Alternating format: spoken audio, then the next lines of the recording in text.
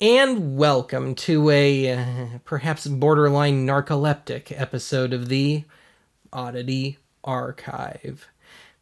Look at it this way uh, you're going to get a nice heaping helping of the mellow, mellower than usual, uh, warm, fuzzy, friendly, nostalgic, and slightly melancholy side of the archive. So, anyway, uh, today's episode spawns from something that happened a few years ago now. But uh, I made this uh, now pretty infamous episode on a pair of mystery 8mm films that I had found at a thrift store, and the infamous part being that they both turned out to be pornographic. Well, uh, one of those films starts off rather deceptively, and I noted it in the episode, but it starts you off thinking that it's going to be one of those souvenir films that you would find in those uh, tourist trap gift shops back in the 50s, 60s, and 70s. And at the time, a small handful, really, of viewers decided to come back at me with the whole oh, that was just cope, Benny Boy, there is no such thing as a souvenir film, sort of thing. So, uh, of course, it prodded me into trying to start to build up a little collection of souvenir films. So I can prove that they exist now, if nothing else.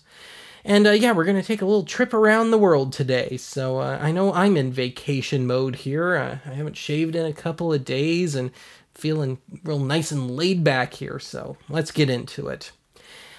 Let's kick things off here with some excerpts from some films put out by the one and only of today's companies that is still in business and still doing the whole scenic film thing. Uh, of course, nowadays they're putting it all out on Blu ray.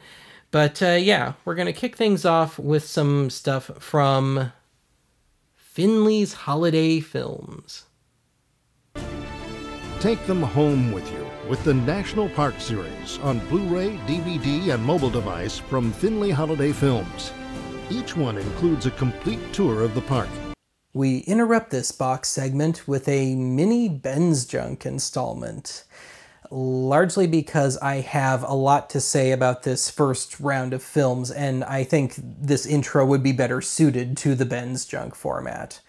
But anyway, once upon a time, you could pop into really any number of gift shops here in the US and find some kind of package akin to this. And uh, with regards to this one, this one really was purchased at the original SeaWorld in San Diego, California, probably around 1972. And I only know it was purchased at SeaWorld because it's still got the price tag on it. And yeah, $13.98. So assuming it is 1972, I pumped it into the inflation calculator, and as of my making this, it's just shy of $100. So yeah, these things were not cheap. Uh, these were meant for the souvenir buyers that wanted more than just a refrigerator magnet or something like that. But uh, anyway, if we go to the back again here, let's take a look at this paragraph here. So uh, it touts it as having some sort of accompanying audio cassette. And uh, by the way, yeah, Finley misspelled their own company name there.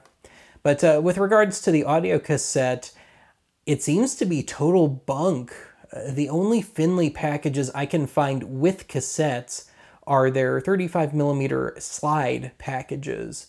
And these cases are just too small to fit uh, and still have the film reel in there to fit even a loose audio cassette. And I dug around online, I can't find any pictures of any kind of setup like that or some sort of bundle or even some stray audio cassette that looks like it might play in tandem with this. So my best guess is that if there ever were tapes to be run with these movies, they were either sold separately or they were touting something that they planned to implement but just simply never did. But uh, anyway, with regards to these plastic case types, I have another one, also from San Diego, strangely enough, from the San Diego Zoo. And I think it's also from about 1972. And it looks like, uh, with regards to all of these plastic case sort of deals, the foam that holds the film in place has, not just on mine, but I think in general, has completely rotted away. And not only that, on mine, the foam rotted right onto the film. So, uh, with regards to my two of this setup, I have cleaned up the film goo and I've created a totally ghetto new foam fix there.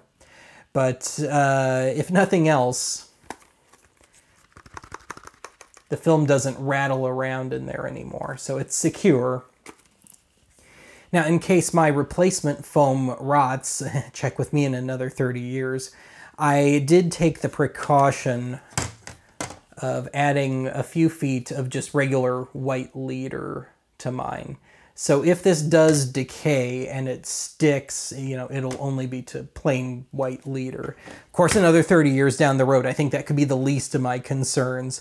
Uh, vinegar syndrome and that sort of thing. Uh, thankfully, none of mine have it yet. So otherwise, uh, with regards to the packaging of these Finley reels, this was not their original design. I do have one of their original design, and it was a little more austere, a very early blister pack sort of thing. Obviously, this has been opened, but there you go. Now, uh, getting back to the survival rate with these things, I've noticed that out of the five Finley's reels that I own, Finley reels, all of them are supposed to be in color and all of them have faded to some degree. And this one in particular, Capistrano, and uh, yeah, they're all Californian. Uh, the Capistrano one is completely faded to just a horrible, nasty red, uh, to the point where I don't think any amount of color correction could ever do anything about it. But worse yet, this particular one has shrunk a bit uh, to the point where my film scanner just straight up rejected it. And I was just barely able to get it to run through my regular everyday projector.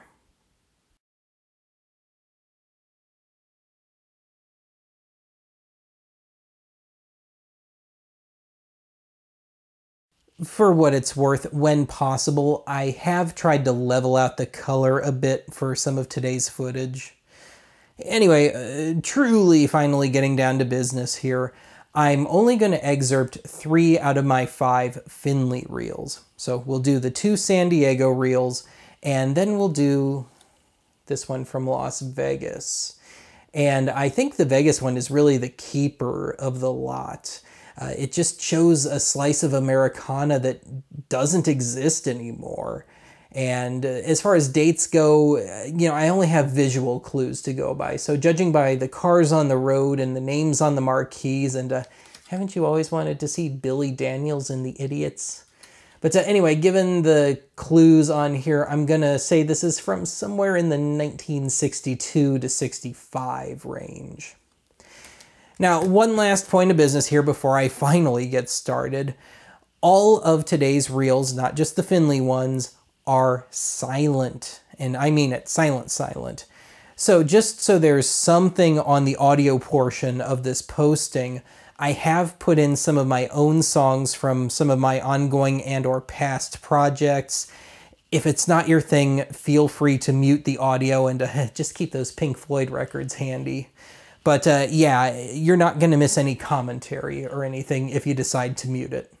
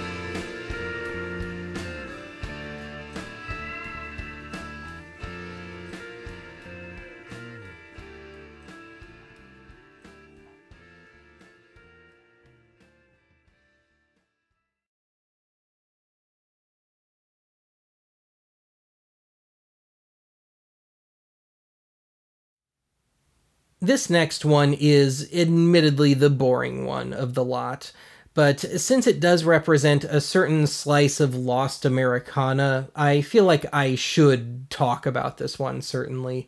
But I think this is going to be one of those times where the discussion is more interesting than the footage. But anyway, once upon a time, uh, certainly American Airlines, though there were others, had a bit of a side hustle going on, and uh, they were doing some kind of high rolling, really souvenir stuff. Most famously, uh, certainly American Airlines was putting out these reel to reel audio tapes and real nice chock full ones, uh, three and three quarter inches per second and 1800 foot reels and it would be the music you'd hear at least the first class people certainly would hear in the airport lounge before takeoff or a little later on when they started doing in-flight music and the headphones and all that that stuff. So uh, all pretty major artists be it uh, exotica like martin denny or maybe some sergio mendes that sort of stuff. So uh, twa during the 60s was doing something a little different Whereas, say, American Airlines was focused on audio, TWA was focused on the visual end of things. So they, on the side, were selling souvenir slides and 8 and Super 8 millimeter films, all at 7 to 16 bucks a pop. Now, to me, these films are just a crushing disappointment and truly a missed opportunity but uh, before I get into that, uh, the film we're going to look at here is Flight to Ireland. Now, in my mind, since it's an airline, you'd think they'd want to have some sort of aerial motif going on. Like, you'd think it would be an aerial tour of Ireland, almost as if you were looking out the plane window. That doesn't happen. Or since it's TWA, they'd want to toot their own horn and give you a little look around the seating main part of their planes at the time. That doesn't happen. Uh, the only real TWA stuff you get to see is uh, only super briefly the plane touching down and taking back off at the end. So, what we're left with is a truly bland, boring, vanilla souvenir film, and certainly the most boring one I've seen to date. And it is Ireland. I mean, there is stuff to see there, but it's almost like they systematically avoided it. But since we've discussed it here, I guess I am now obligated to run at least some of it. So, from 1967, TWA presents Flight to Ireland.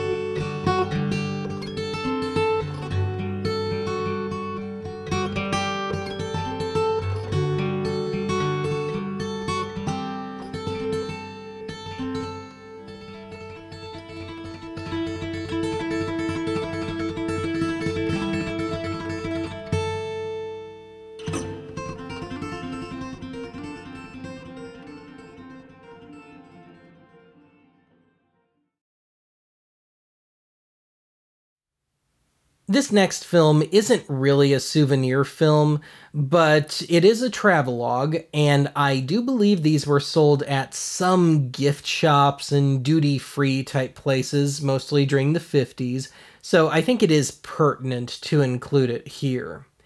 Now, uh, this particular reel, alas, was not purchased at a gift shop, but instead I, I was able to pretty easily track this one down thanks to the price tag. It was purchased at the Crescent Department Store in Spokane, Washington, uh, defunct since 1988, and it sold for the princely sum of $5.95 back in the early mid 50s. So uh, adjust that for inflation. Now, uh, these are pretty dang common amongst film collectors, and at any given time on Fleabay, you should be able to find at least a small handful of these things. But uh, yeah, let's take a look at one of the many installments from the World Parade series from Castle Films. And these mostly came out during the 50s, though the series did start out in the 40s. And this one in particular is from 1952, so we're right in the middle of the Korean War here, though it's not referenced, obviously. And uh, what we have here is kind of a semi conceptual piece. So, what we're dealing with is a, a, slice of life, a day in the life from a tourist's perspective of Paris, France, not Texas. And uh, yeah, you get to see everything you would expect out of Paris, uh, including some of the nightlife. And uh, yeah, I, of course, will run that part. Now, uh, on a technical level here, for whatever strange reason, of the films that we're properly looking at today, I just could not get a decent pass at this thing through my film scanner.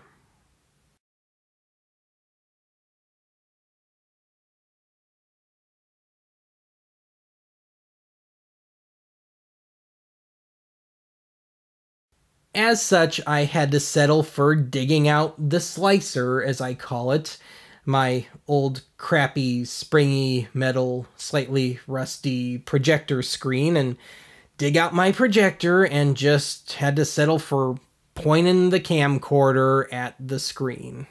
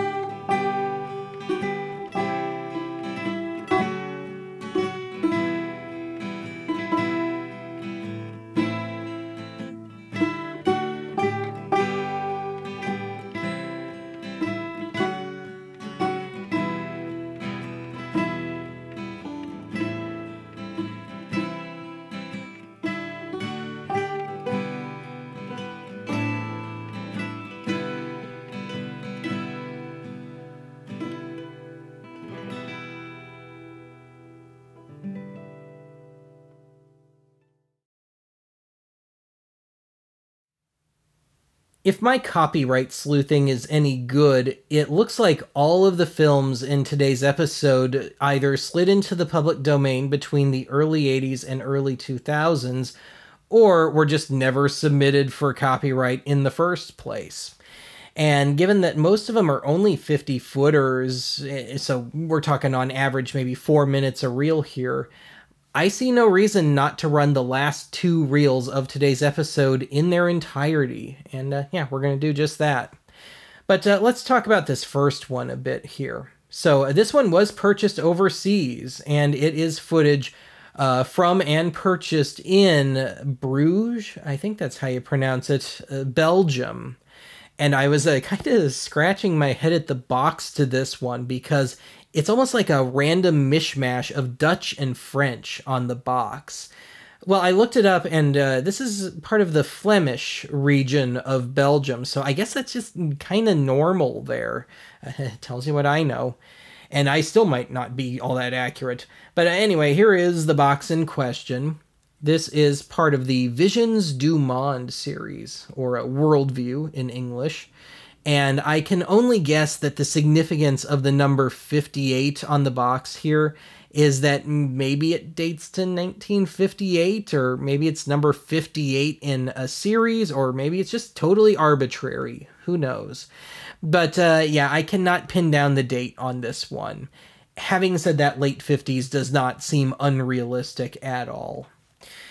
Now, with regards to the footage proper, it's really not super remarkable. I mean, it's nice and pretty and everything. But uh, the reason I want to run this one is out of all the color reels of these souvenir films that I've built up, it's the only one where the color has somehow managed to stay just real nice and rich and vibrant. So, if nothing else, I want to run this one just so you can see and we can all see um, as close as possible what these things looked like brand new out of the box way back when. Now, unfortunately, there is a bit of a catch here. Towards the end of the reel, it does start to jitter quite a bit. We can never have it all, can we?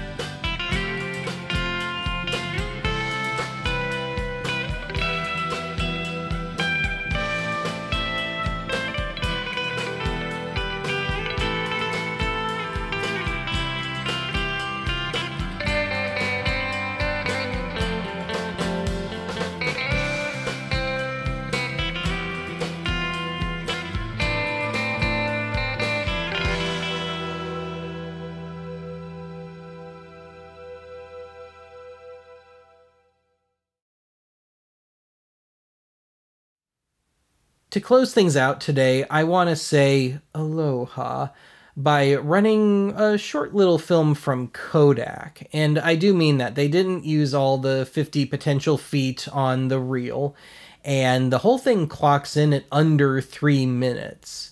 But uh, it's what's on the box today, and it is indeed a bit of some Hawaiian tourist type show. Now, as for the date, I can only guess, but I think mid to late 60s. Now, uh, my print of it is on Super 8, and Super 8 was only introduced in 1965. But um, yeah, that doesn't necessarily help. But judging from the one and only crowd shot in the thing, judging by the fashions, I actually would say 1965 to 68 or so would be a decent guess here. So, anyway, this one kind of finishes up the dancing trifecta of this episode. So, we've had Vegas showgirls and Paris burlesque dancers, Parisian, and now we're going to finish up with some hula dancing.